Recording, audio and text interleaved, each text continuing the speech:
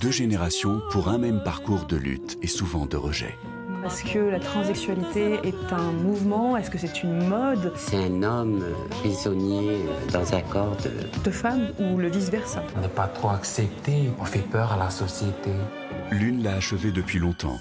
Je t'avais dit les méfaits des hormones. Ça peut t'emmener à la démence. Oui, mais c'est pas interdit de s'amuser, non? Qu'est-ce qui te motive exactement?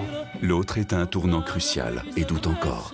Ça serait plus difficile pour toi d'être banni de ta famille ou, de mettre une croix sur ton projet? L'autre femme, un documentaire Canal Plus original, jeudi soir sur Canal Plus.